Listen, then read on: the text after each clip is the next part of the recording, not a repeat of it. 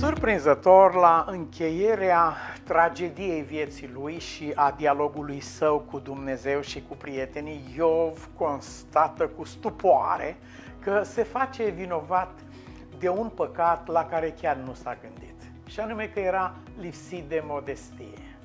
Aceasta a fost tot ceea ce a vrut să-i comunice Dumnezeu în final, în dialogul acela. Unde e modestia ta? Unde erai tu când am creat pământul? Vorbești ca unul care ai fost acolo sau care ai participat sau ca unul care știi tainele Universului. Unde este modestia ta? Când Iov a văzut umilința lui Dumnezeu, când a văzut bunătatea lui și dragostea lui și când a văzut propria lui aroganță, lipsa lui de realism cu privire la adevărata lui imagine, omul acesta a spus, mi-e scârbă de felul cum am gândit eu și cum m-am văzut eu pe mine însumi.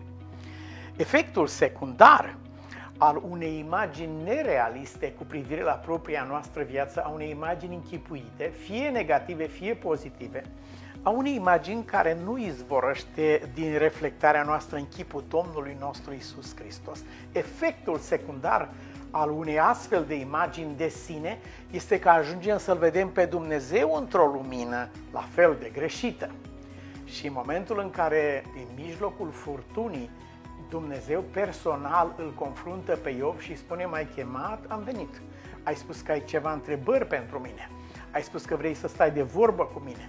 Ai spus că eu fug de răspundere și nu stau, nu stau de vorbă cu tine, nu vreau să răspund de ceea ce se întâmplă în viața ta. Iată-mă, Ia, întreabă-mă ca să-ți răspund.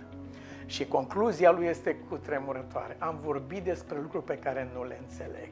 Acum îmi dau seama că de fapt ce credeam eu că înțeleg este nimic în comparație cu vastul adevăr al lumii în care ne mișcăm noi.